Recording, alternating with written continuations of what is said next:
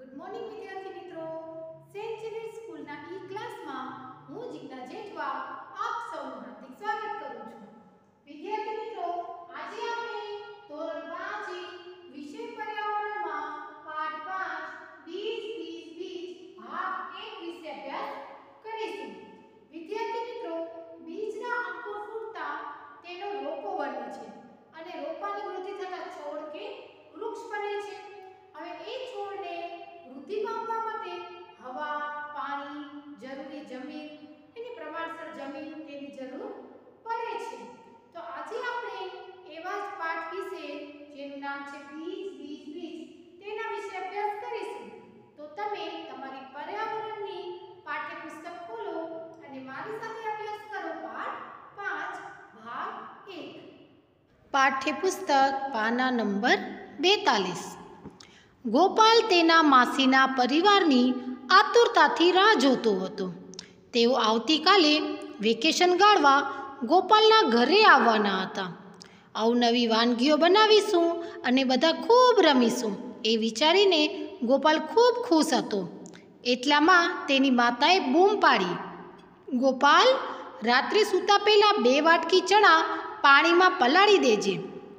હું ફોઈના ઘરે જવાની છું અને સવારે આવીશ. એવું કોણે કહ્યું? તેની ગોપાલની માતાએ.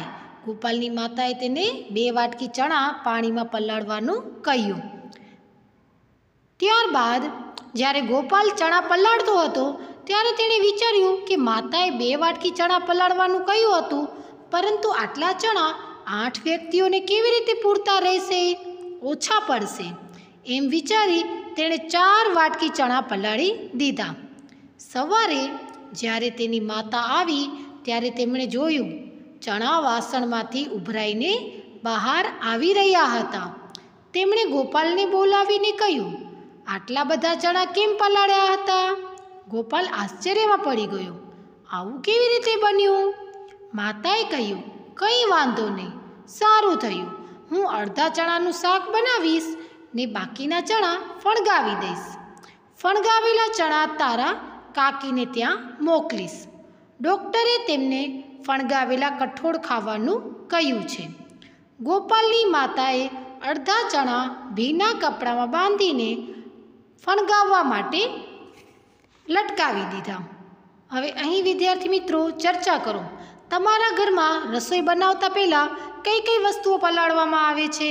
કેમ તમારી મમ્મીને પૂછજો ઘરે. તો જોજો, તમારા મમ્મી શું કહેશે? આપણા ઘરમાં મગ, ચણા, તુવેર, ચોળા, ચોખા વગેરે રાંધતા પહેલાં પલાળવામાં આવે છે. એવું કેમ? કેમ કે તેના દાણા કેવા હોય છે? કઠણ હોય છે. તેને રાંધવામાં બહુ સમય લાગે છે.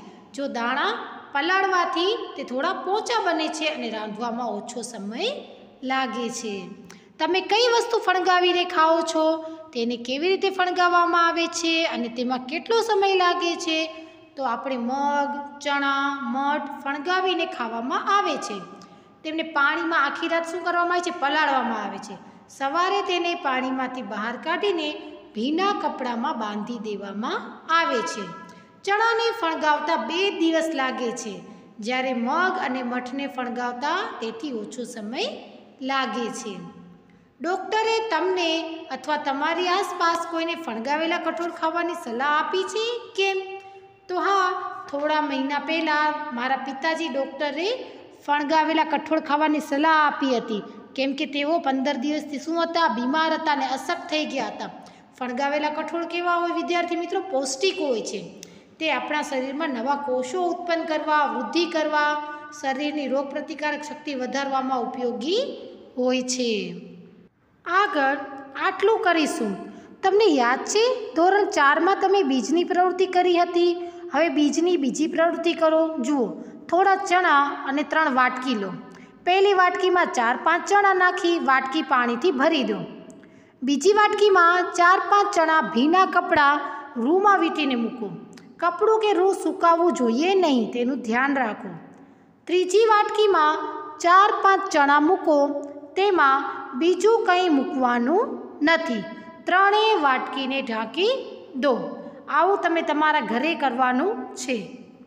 હવે બે દિવસ પછી ત્રણેય વાટકીમાંનું ચણાનું અવલોકન કરો અને ચણામાં થયેલા ફેરફારો નોંધો. શું થાય છે ફેરફાર? તે જોવાના છે. જુઓ. બીજને હવા મળે છે વાટકી એકમાં. બીજને હવા મળે છે ના. વાટકી બેમાં હા. વાટકી ત્રણમાં હા. જો વાટકી એકમાં કેમ હવા નથી મળતી?